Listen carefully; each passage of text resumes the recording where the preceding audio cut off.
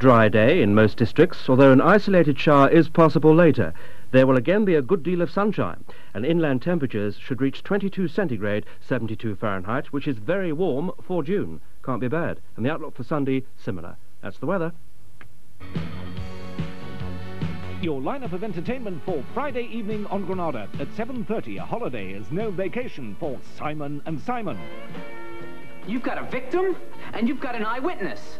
Now, where we come from, that's called a murder case. 8.30 brings romantic rumours in That's My Boy. It's funny about your mother and Wilfred, isn't it? Mm. I can't think what he sees in her.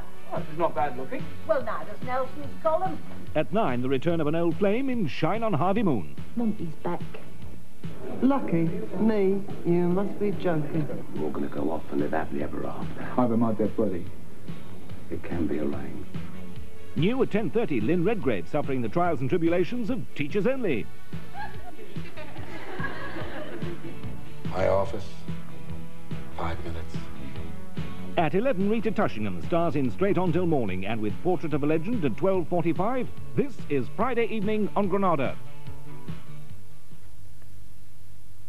On Channel 4 now, High Band presents Phil Collins, recorded live in concert in Pasadena, California, and including such hits as In the Air Tonight and You Can't Hurry Love. That's High Band on 4 now. And we have some pop sounds in Weekend, just five minutes away. Among the guests are Spandau Ballet. First, the Granada Reports News, read by Anne Lester.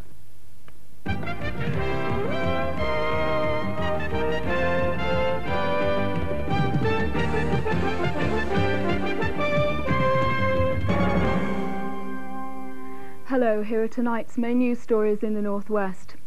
Four policemen were injured when petrol bombs and bricks were thrown during a demonstration in Liverpool earlier today. Rob McLaughlin reports. Trouble flared in the city centre as more than 200 Sikhs marched on the Indian High Commission.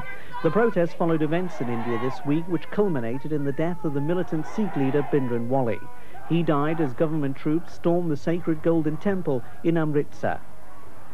Rodney Street was sealed off and leaders promised a peaceful protest, but as tempers rose, missiles were hurled towards the police lines. Senior police officers appealed for calm and a delegation was eventually allowed into the building to hand in an official protest. I think it achieved a lot because uh, Mr. Gandhi will know that the people are angry uh, overseas. Everywhere where the Sikhs are, they are angry and they, uh, they will take revenge. Derbyshire's chief constable has been suspended from duty by his own police committee following a secret meeting today. Mr Alf Parish said after the meeting he was not surprised. The police committee have been investigating allegations that Mr Parish spent £28,000 on improvements to his office. At the High Court, Lancashire miners' leaders have given an undertaking not to take disciplinary action against miners who cross picket lines during the strike. Mark Gorton reports. Three weeks ago, here at Manchester High Court, miners from Salford's Agecroft pit were granted an injunction to stop the Northwest NUM carrying out its threat to suspend working miners from the union. Immediately, the NUM said it would try to overturn the decision. But today, after a three-minute hearing, the NUM gave an undertaking not to take disciplinary action against miners who cross picket lines. On the surface of it, this may seem a victory for the Agecroft men, but it could be short-lived. It's cost them £3,000 to take us to court, and they've achieved nothing. Because after next Thursday, we in Lancashire will be on official strike. If they don't pay attention to that uh, decision, then they're in trouble. And Liverpool's Labour-run council plan to set up food collection points as a gesture of support for striking miners. Councillors also want to snub firms who've crossed picket lines during the strike. Lancashire police are continuing the search for the mother of a day-old baby girl found abandoned in Burnley yesterday. The child, christened Gemma by nurses, is doing well at Burnley General Hospital. A thousand Liverpool dockers today voted to continue their strike. It's over manning levels during the unloading of the Danish vessel Agneta Dania. Eight ships are idle. Greater Manchester Transport chiefs say new government cuts will decimate local services and they warn that £15 million cut will mean higher fares and fewer buses. A Northwest survivor of the tall ships disaster flew home today. Andrew Freeman from Wallasey didn't have time to see his family as he was whisked through by Manchester airport officials. Andrew was thrown overboard when the sailing ship Marques was hit by a freak wave off Bermuda. 18 crew members are still missing. Well, we'll come back to that story in a moment if we can. Football and speculations growing that Liverpool skipper Graham Souness will leave the club before the start of the next season. He's being sought by Italian clubs Sampdoria and AS Roma. The asking price around £700,000. Well, that's it from us for tonight. Have a very good weekend and join us again on Monday. Good night.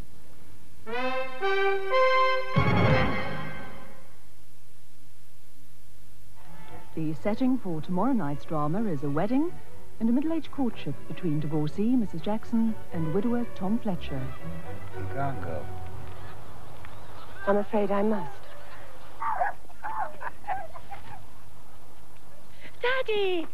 Starring Tom Bell and Meg Wynn Owen. Oh, let me go. Oh, all right. You really mean it, don't you? Where can you find Norman St. John Stevas and Spandau Ballet this evening? In Granada Studio 2, which is the home of Weekend.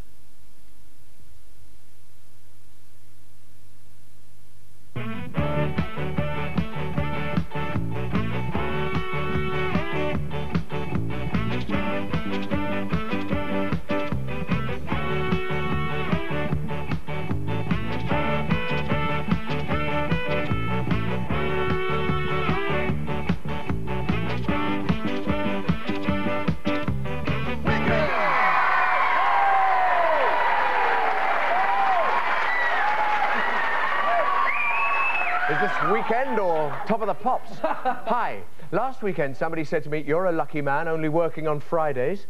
So today I thought I'd tell you about my week. Do you remember last week I mentioned Prince Charles's comments on the monstrosities of modern architecture? Well, I know they're not all monstrosities, but last Sunday I made my debut in one that certainly is, the Barbican Centre in London, in a charity performance of The Hunting of the Snark, with the London Symphony Orchestra, in which I wore a costume designed by Liz Emanuel. no, I did not look like Princess Di. I was a baker. Oh. On Monday and Tuesday, I rehearsed my new musical all day, and on Tuesday evening, another charity performance, this time playing the mouth organ in a band that included Jack Bruce of Cream, Jimmy Page of Led Zeppelin, and Charlie Watts of the Rolling Stones. Quite good. I got to bed at four o'clock and up again at eight the next morning to rehearse all day again.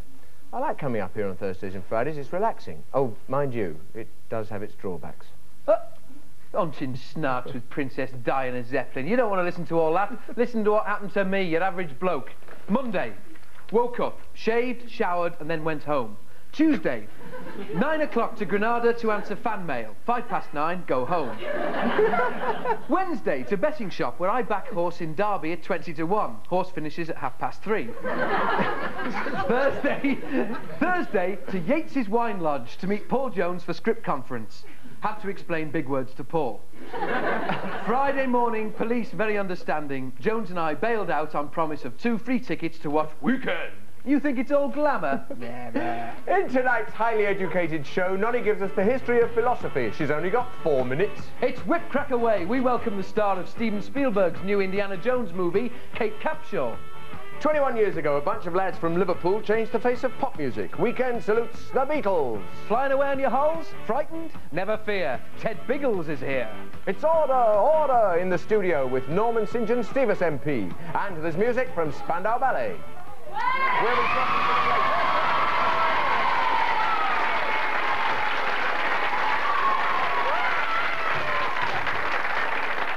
to Right, we're going to be talking to them later and also hearing their new single. But first, Ted, have you got fear of flying? Yes, I've read it twice. She's a little tinker, that Erica Jong. I'm talking about going up in planes. Oh. now, so many people, like Ted, are genuinely scared of flying that Manchester Airport have been running special courses. Yes, for £20 you could have an hour-long flight with a sympathetic air hostess holding your hand. I was looking forward to it, honest, but they suddenly cancelled it because so many terrified people had chickened out. Yes, Ted thought he'd got away with it, but we couldn't let him down. So we sent him up. Here at great expense is the weekend Fear of Flying course, starring Ted Robbins as Biggles. I've always been a fairly down-to-earth fella. Well, when you're 15 and a half stone, you have to be. But if I've got to join the jet set, I'm not taking any chances. I've got Teddy with me, two dozen St. Christopher medals, a gross of rabbit's feet, and half a pound of Saxa to sling over my left shoulder. Hold up. Where's the 727s they told me about? This isn't a jumbo. Still, Airfix do some good kits. right then. Don't like the look of that pilot. When air traffic control called up Whiskey Tango, he said, make mine a double. Still, we can sober him up when we get up there. we can open a few windows. oh dear. I'm sorry, Auntie Mabel, I nicked all your gin. And, and Dad, I'm sorry that I ate all the sausages. And Mum, I'm sorry I left that stain in the bath. And Grand, I'm sorry I spat at your canary. And Grandad, I'm sorry I swore. Uh, uh, I'm sorry, Paul Jones, I said that about you. Uh, I'm sorry, Cousin Ronnie, that I laughed at your trousers. Oh, God, I'm not acting now. Uh, I'm sorry, I was sick in the sink. I don't like it. Oh, my. I'm sorry that I did everything naughty and I'll be a very good boy if I get down again in one piece and I'll never ever work for television again. And I'm sorry I've been like I have been. And I'm sorry, Teddy. Oh, I don't like it. I don't like it. God, I really don't like it. It's the sea! It's the sea! We're over the sea and we'll fall into the sea and we'll get wet and I'll get hysterical and I need my blue blanket. I better know. Oh, I got my blue blanket. Oh, fine now. A lot more relaxed. I think, though, we must get something substantial inside me. The in-flight catering, very important part of flying. Nothing wrong with that. Nice sandwich. Lovely. Over there. Relax. And enjoy yourself.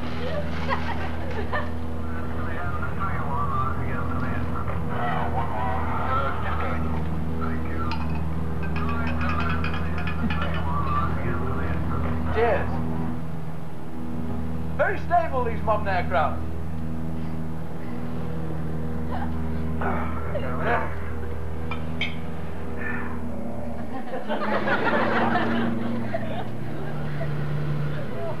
oh, Jesus, Mary and Joseph, now what are you doing now? What's he doing? That's it now. There's stuff up there. I can stand it when it's below us, but not when it's above us. We're flying under the ground. We'll never get back down to earth again if I'm free. And I still haven't got Paul Jones's job. Oh, God, I hate it. I hate it up here. I'm cracking up, I tell you. I'm cracking up. I don't care. I'm going out now. I don't God damn the Hun. I don't care about this damn war. I don't care about anything. I just got to get back to Blighty and Earth. David, I'm flying this bloody thing. Ted, to the left. Turn it, Ted. Only a few minutes at the controls, and already I feel like a dogfight. Get down, Chef. Hand me the joystick, Ginger, and stand well clear. Time to tackle a bally hand. Chocks away, chaps, and Biggles flies undone. Pimpernel leader, Pimpernel leader, Sapper calling. Bandits ahead of you, ahead of you. Hello, Sapper. Pimpernel leader answering. I see him. Tally ho, tally ho. Hello, Jeff. Leader calling. Prepare to break. Line astern, line astern.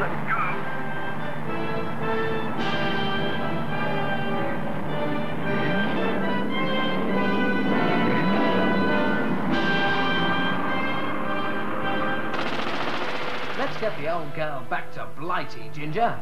Now that Von Frankfurter's pranged his kite in the briny, I feel like a bear myself. Take the controls, Ginger, while I get some shut-eye. Ginger! Ginger! Where are you, Ginger? Come back to me, Ginger, old boy, please! Oh, no!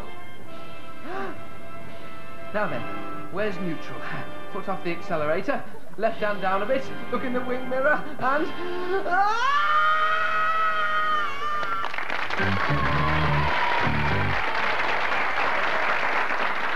Didn't know you were a devout Catholic, Ted. Oh, I am a Catholic, and uh, I was genuinely terrified, I can tell you, up on the Which plane. brings us on to our guest tonight. Not the being terrified, but the Catholic. Our guest tonight is a member of Parliament who describes his place on the political spectrum as being at the extreme centre. This wasn't quite where Mrs Thatcher wanted him, and they fell out. Since which time he's been demonstrating the inappropriateness of her expression wet. In Who's Who, his listed recreations include appearing on television. It's playtime then for the Right Honourable Norman St John Stevas.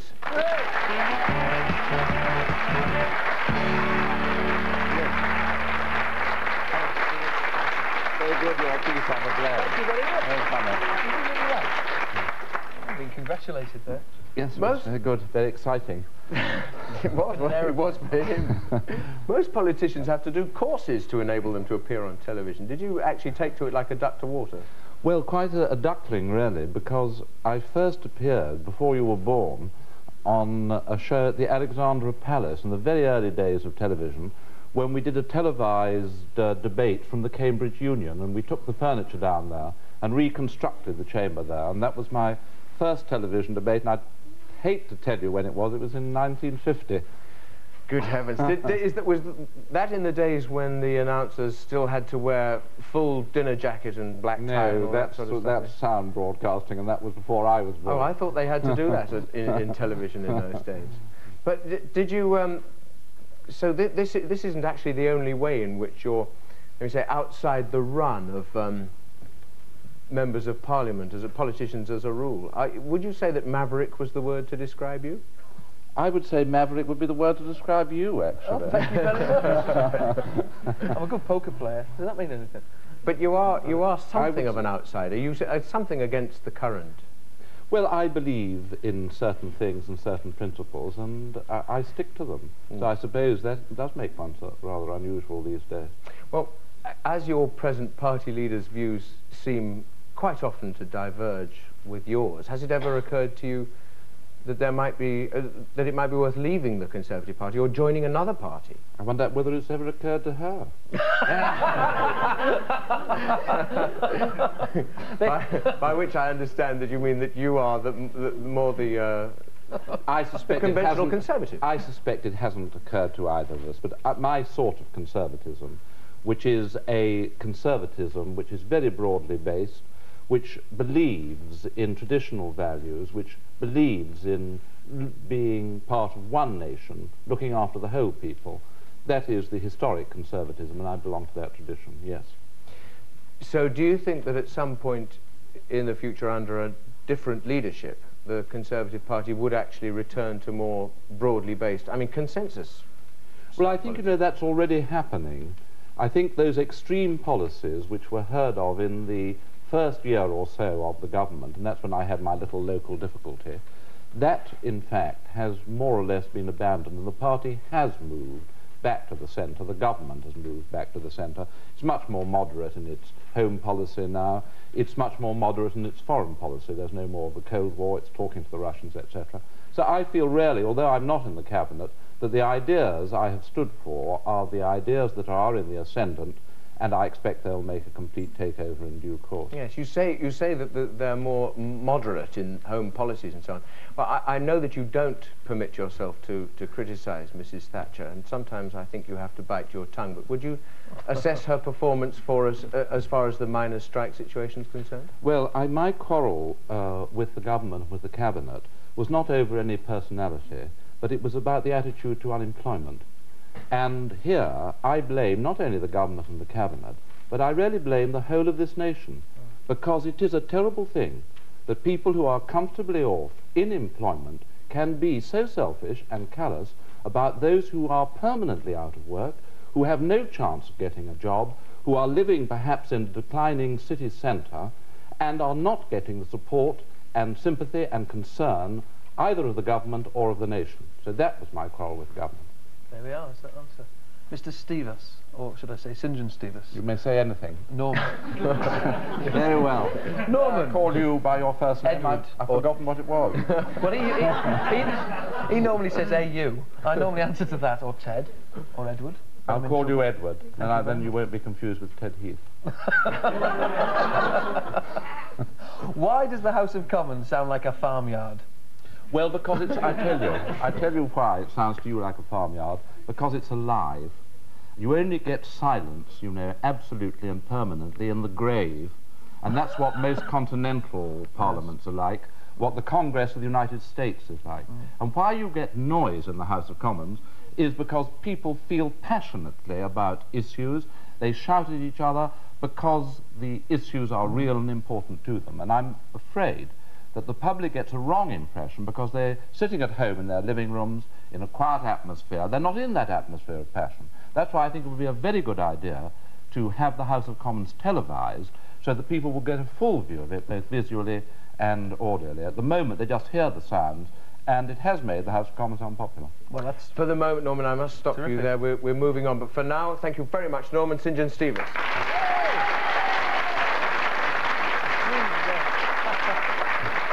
In part two, we meet Kate Capshaw, star of Steven Spielberg's new film, and we get philosophical with Nonnie Williams and Plato. And Debbie gives you what for in What's On. Plato. Oh, yes, Mickey Mouse's dog.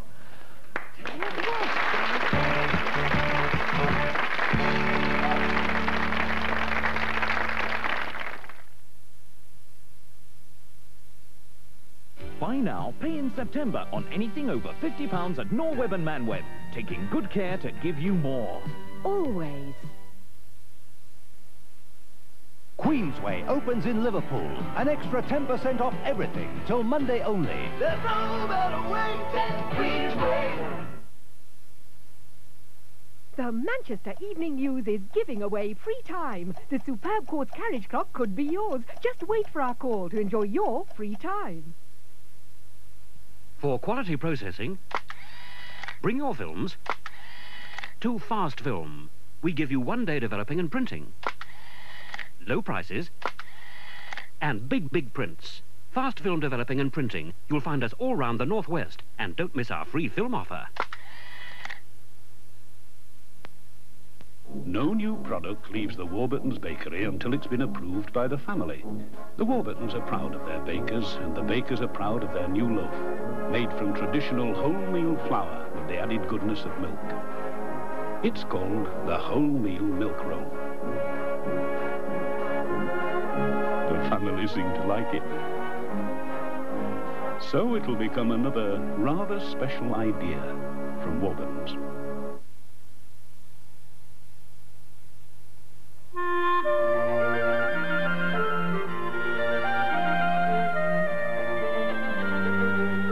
A reliable strength. Lasting length. And a perfect softness. All go to make up Andrex.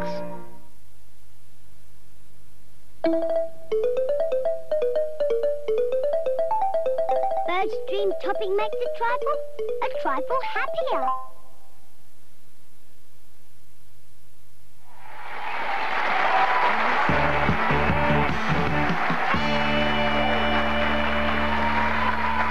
Welcome back. And now, something for the intellectuals among us. Shall I go? No, stay where you are.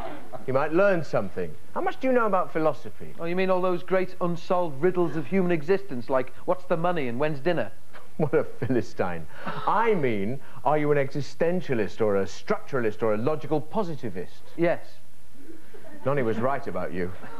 But seriously, folks, a lot of people do worry about the meaning of life. At universities, they even get paid to do so.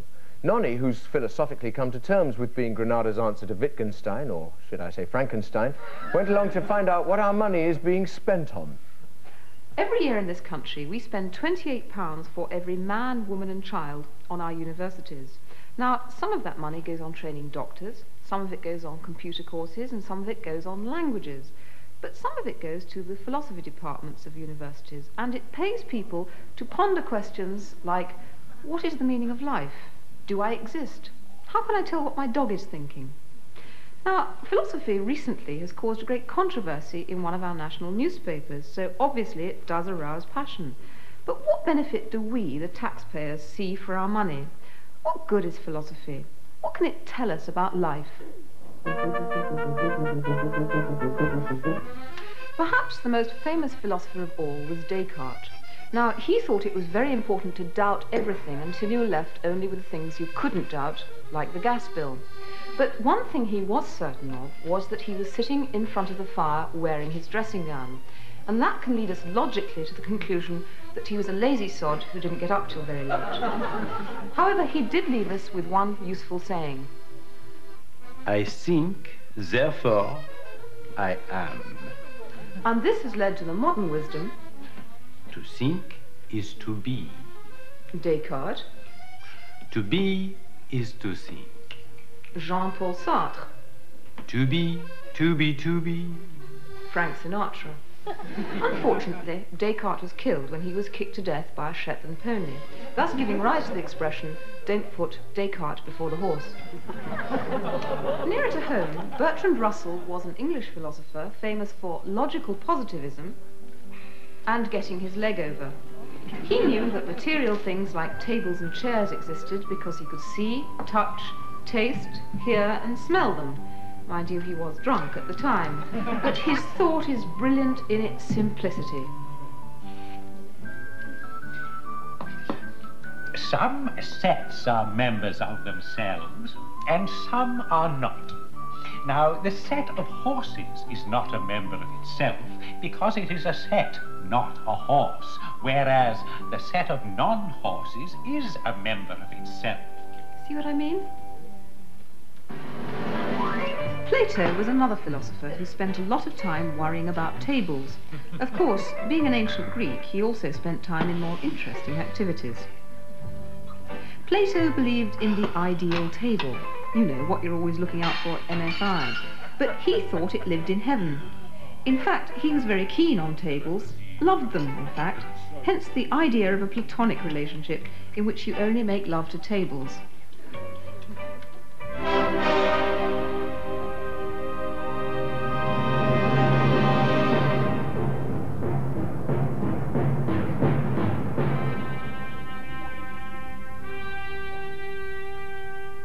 Nietzsche was another kettle of fish altogether. He was a German and the inventor of Superman. In other words, he was the first person ever to wear his underpants outside his trousers. He felt it was all wrong to worry about ideal tables when there were perfectly good ones lying around in Germany. Or were there? Because Nietzsche didn't believe in facts. So how could you tell if your table was there at all?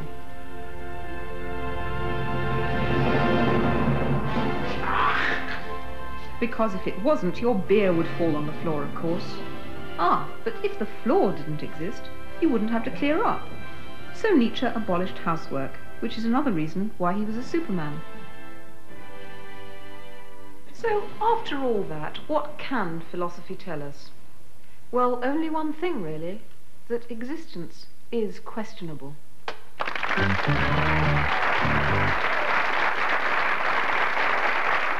Certainly is, but I'm proud to say that Debbie exists and is here and will soon be doing What's On for us.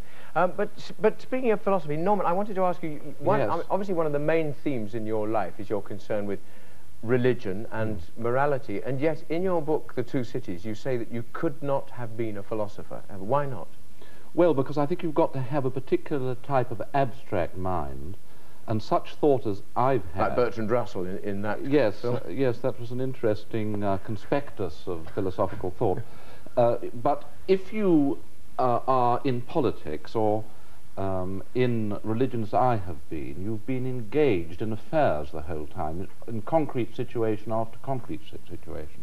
And so such thoughts as I've had have come out of a life of engagement. I've never been the sort of writer to sit alone in a room and think great thoughts. I've developed uh, my thoughts as a result of conflict, discussion, debate, life in what you would call the real world. Now, right, yes, I would call the real. In other words, you make it up as you go the one that exists. You're rather in the way that you're a conservative who often disagrees with the party dogmas. You're also a Catholic who has often disagreed with accepted Catholic Yes, dogma. Yes, but I wouldn't surrender my conscience to a political party, and I wouldn't surrender it to a church either. I think in the end one has to make one's own decisions, move within a framework, certainly, and choose your framework, whichever uh, suits you and whatever uh, religion it may be, whatever political party it may be. But in the end, you can't surrender your own judgment, your own integrity.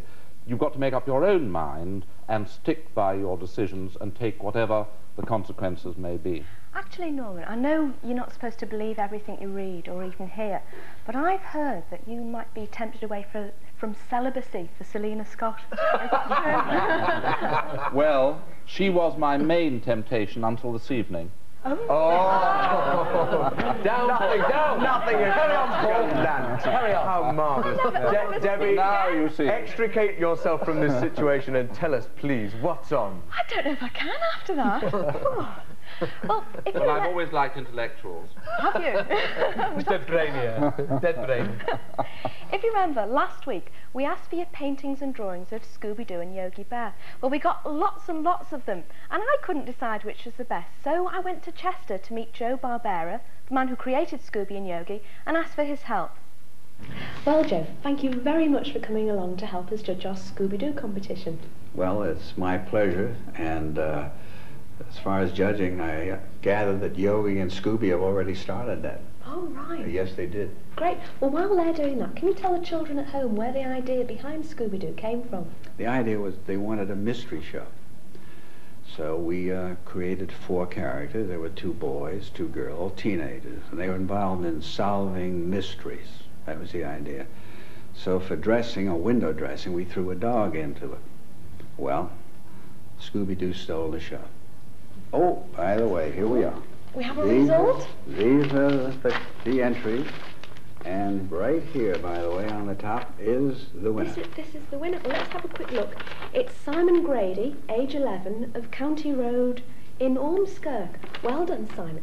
Hey, it's a smashing picture. Look at that. It's Isn't great. that- We've got a picture of Paul Jones there as oh well. Oh gosh, congratulations, Simon. Scooby singing in Congratulations. Bath. And here's a closer look at the winning picture. Congratulations to Simon, who wins our ginormous Scooby. The bit with Paul on it ruins it, doesn't it, though? Oh, yeah, Well, I wasn't going to mention that. Yeah, and terrible. well done to the 10 runners-up and to everyone else who sent us their drawings.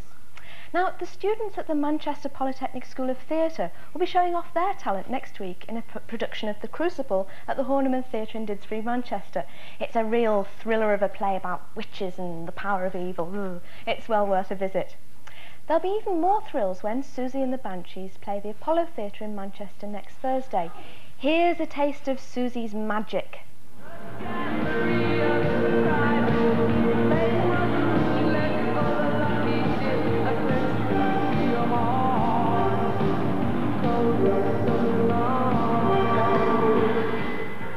And bands from the Northwest are still finding fame and fortune in the charts. But if you want to see a famous band before it's famous, then how about O Red? They're on at the Band on the Wall in Swan Street, Manchester next Tuesday. It's the soul music of the 80s, so go see them and get dancing. This Sunday, that man who can't keep still, Jimmy Savile, will be joining the other entrants in a 10-mile mini marathon in Heaton Park, Manchester. I don't think there's anything mini about 10 miles, but if you fancy a longish stroll in the park, why not join in and help raise some money for the physically handicapped? Well, I'm off to the Lake District on Sunday because there's a special day for the disabled at Levens Hall near Kendal. It starts at 11 and goes on till 5. There'll be lots of fun things to do. Well, it's that dreadful time of year again when exams are looming large on the horizon. But spare a special thought for the students at the Royal Northern College of Music. They're facing the awful prospect of doing their exams in public. Next Monday to Thursday, you can go to the college concert hall and actually watch them perform their diploma recitals. The concerts are free, so if you like watching people suffer, this one's for you. And now for the movie of the week, if not the film of the year. It's Steven Spielberg's follow-up to Raiders of the Lost Ark. Indiana Jones and the Temple of Doom opens in Liverpool and Manchester next Friday, and it'll be on general release two weeks later. Here's a scene where Indiana and his sidekick, sidekick Willie Scott find themselves in airborne trouble. Mister. Mister. Oh, Mister, Dr. Jones, dog. Okay. Dr. Jones. Dr. Jones. Oh, wake up, please. Be there already? Oh, good. No. Huh? No one's flying the plane. Oh, Boy. They're all gone. You know how to fly, don't you? No. Do you? Oh, no. How hard Oh, can my it be? It can be hard, as Ted found out earlier on. Well, Indiana Jones's Easy, partner mate. there was Willie Scott, or actress Kate Capshaw. Welcome. That looked frightening, but it wasn't the most frightening thing you had to do in the film, was it? No, that wasn't the most You frightening had, thing. you had some terrifying animals and yes, stuff like that. creepy crawlers, snakes, lizards, elephants. All real? Yes. And you do your own stunts. Uh-huh. Why do movie actors and actresses make a point of doing their own stunts? Well, um, if you want your face on the camera, you do your own stunts. no, um, I think that when your life is threatened or if it's really dangerous and you're going to hurt yourself, you don't do your own stunts. It's always good to be a coward. But um, uh, in, in the cases that I did my own stunts, it was really necessary to help with the, the drama of the story.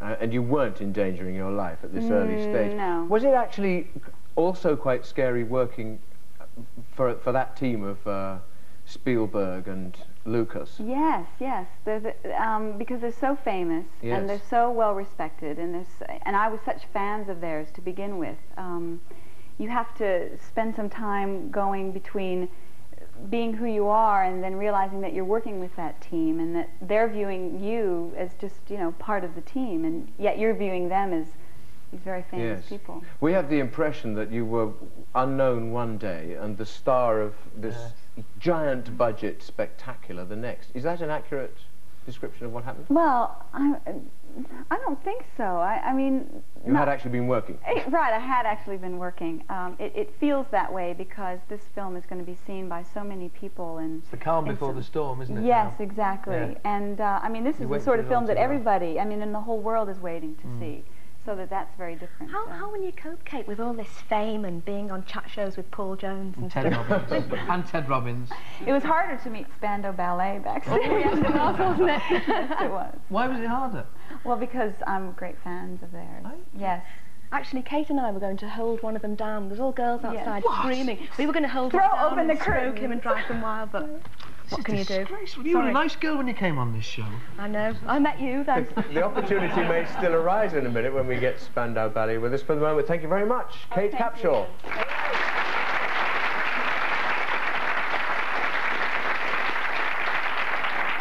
We'll see you again in part three with a little nostalgia for the Fab Four. And there's music from the Fab Five, Spandau Ballet. Great little dancers.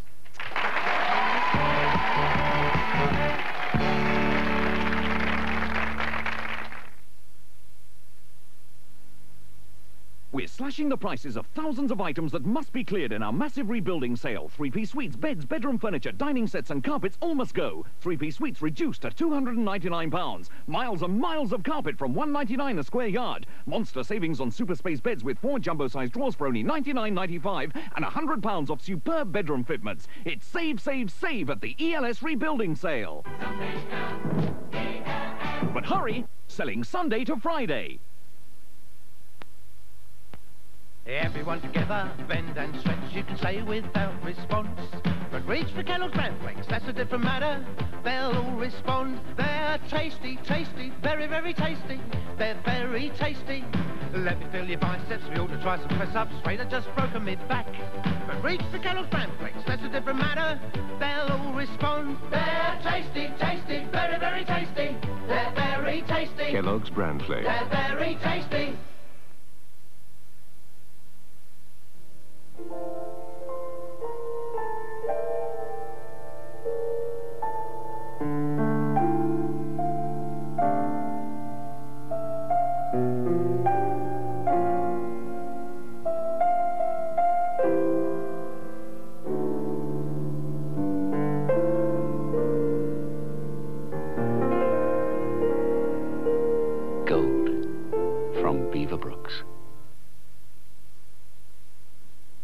Now, pay in September on anything over £50 at Norweb and Manweb, taking good care to give you more. Always.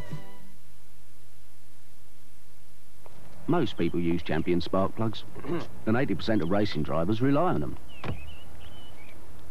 So fit a set of new Champion Plus plugs in your car. Because remember, you can't beat a champion. Well, sometimes you can.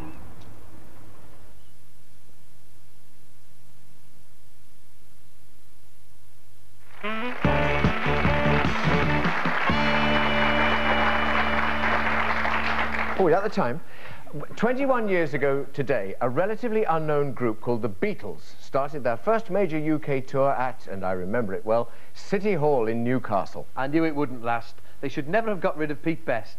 Whatever did happen to them? Shut up, Tonto. They became a major influence on the music and youth culture of the 60s and 70s, and the cult continues. Numerous books about them have been published already this year. This is the latest, The Complete Beatles, prefaced by Beatles expert Ray Connolly. Tony Wilson, Weekend's own legend, asked what did the Beatles have that he didn't? The Beatles, the group, the soul of the 60s. And yet, when you get older, losing your hair, is this all that's left? A museum? All things indeed must pass. But we ask, are the Beatles now merely a part of the past? They really were extraordinary. And at the time, we knew they were great, but we didn't really realise how extraordinary. And what about the people who now find them extraordinary again? Your own, your My own own children? children, yeah.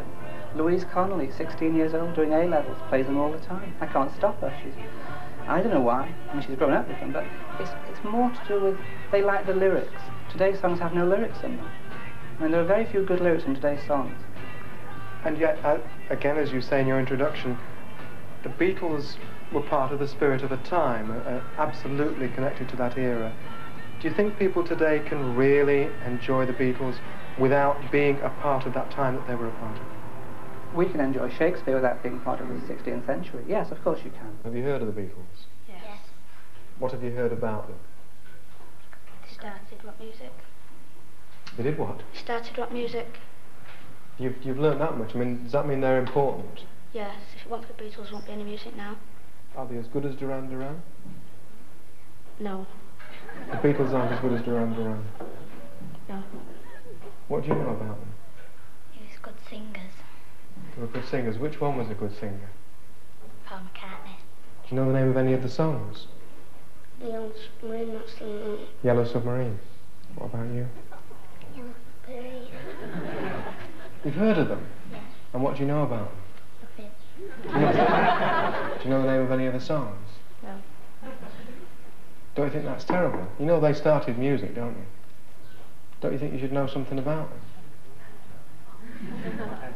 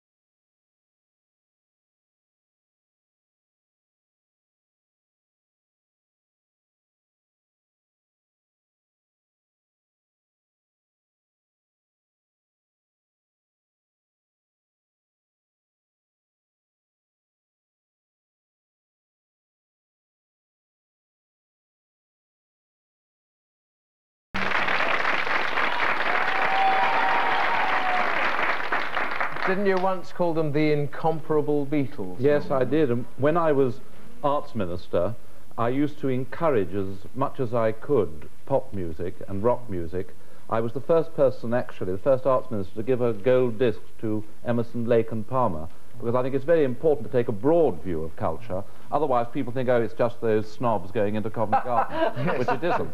But do, do you think that uh, in, in sort of financial crisis times like these, that uh, popular arts should or should have to survive without any subsidy at No, all? I do not. I think that we should spend more on the arts, not less, just as we did in the war. And I won't be satisfied myself until people in this country regard an opportunity to see the arts and participate in the arts as important to a nation's life as a health service or an education service. Well, when you were arts minister, uh, didn't you preside over the time when that famous sculpture at the Tate, the pile of bricks were there, and papers like the Sun and the, the Star sort of didn't like that sort of thing, and they everybody threw their hands up in horror and said, "Why is money being spent on things like this?" Yes, well, I didn't like it very much either. Carl Uh, but it didn't. It wasn't very expensive. You know, bricks are not um, uh, very costly, and I didn't believe that the arts minister should be a censor. Yes. People have got to be free to uh, experiment. And if people make mistakes, and I think the bricks were a mistake, well, that's the price you pay, really, for ar- artistic freedom. All right, then. Point taken. The other point I've got to mention is, do you keep champagne in your bath? He does. no, I once uh, opened a bottle of champagne on television, and I got into such trouble with people saying that I was living extravagantly that I've never looked a bottle of champagne in the face since, let alone in the bath. Pull the other one. It's Yeah. got bells on. We believe you. Um, now, the band that you've all been waiting for. They've leapt back into the charts. Oh, we'll park at that. At this week's number five. But before we hear their new record, let's talk to Tony Hadley and Gary Kemp from Spandau Ballet.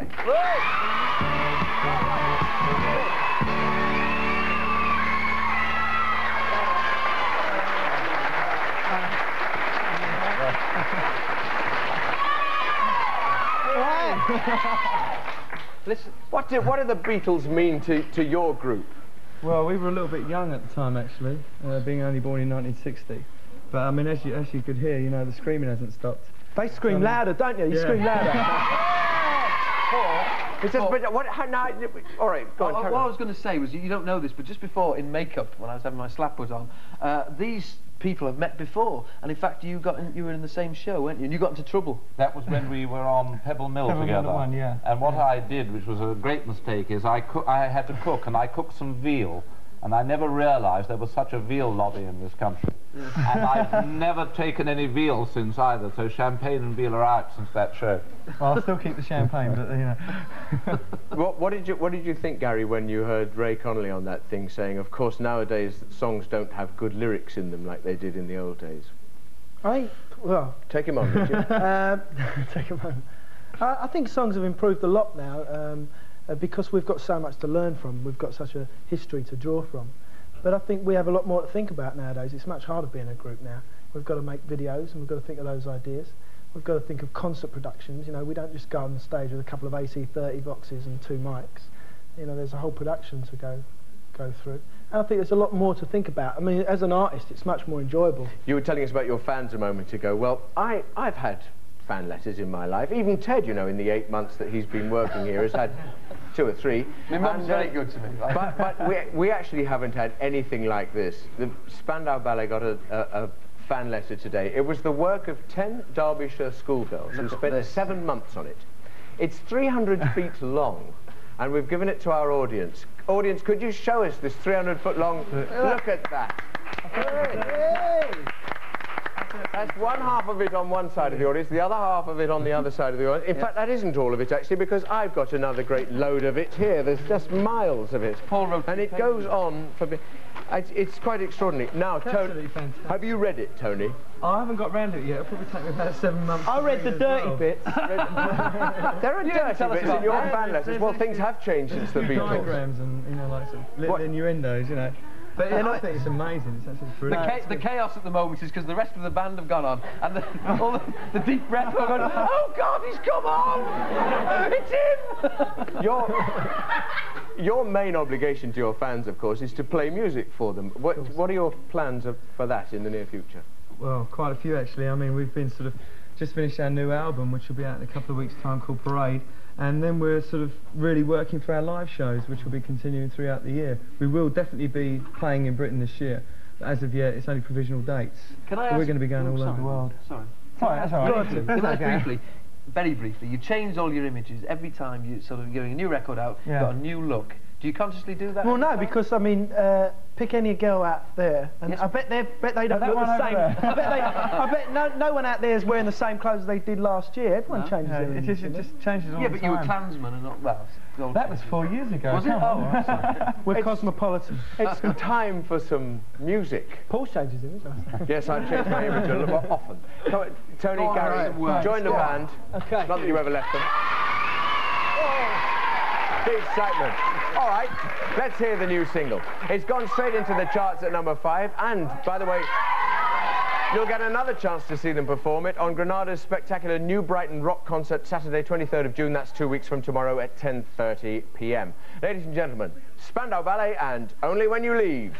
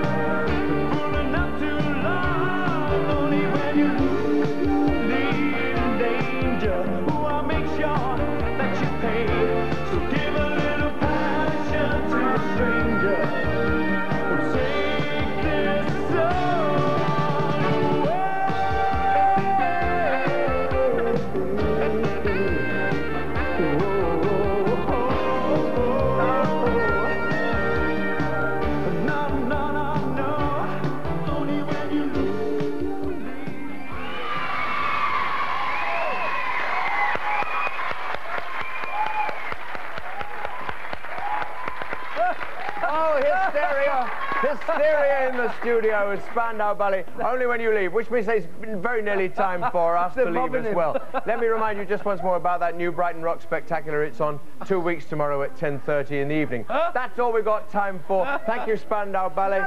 Thank you very much, Kate Capshaw. And of course, thank you, Norman St. John Stevas. That's it for this week. We'll be back next Friday here. with, I regret to say, the last show in the present series of Weekend. But don't worry, we return in the autumn.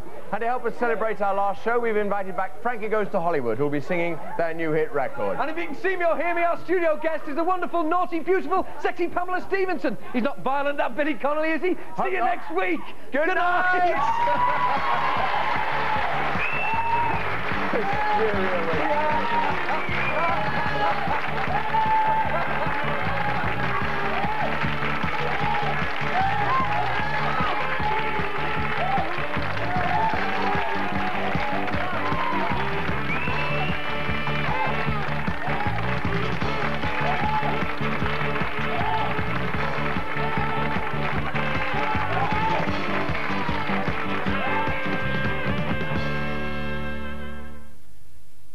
There's a choice of viewing shortly with the latest national and international Channel 4 news, while after the break on Granada, Jimmy Tarbuck hosts another round of Winner Takes All.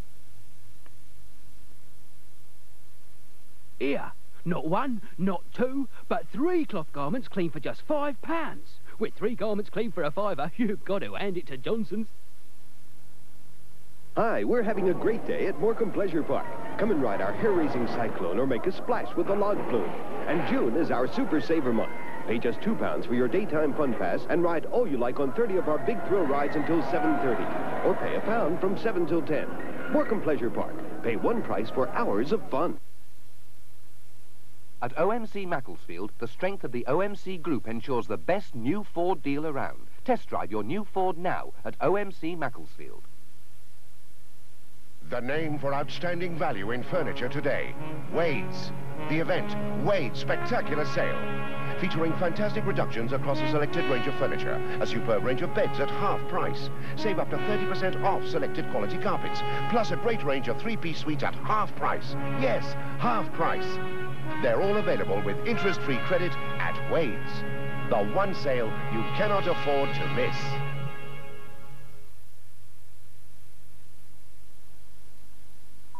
Tiyazaka Igloo. Persuma Crown Plus 2 Pure Brilliant White Emulsion. Tiha Tasakuma Puma Nantuk Silk Vinyl and Matte. Kuyoktomik.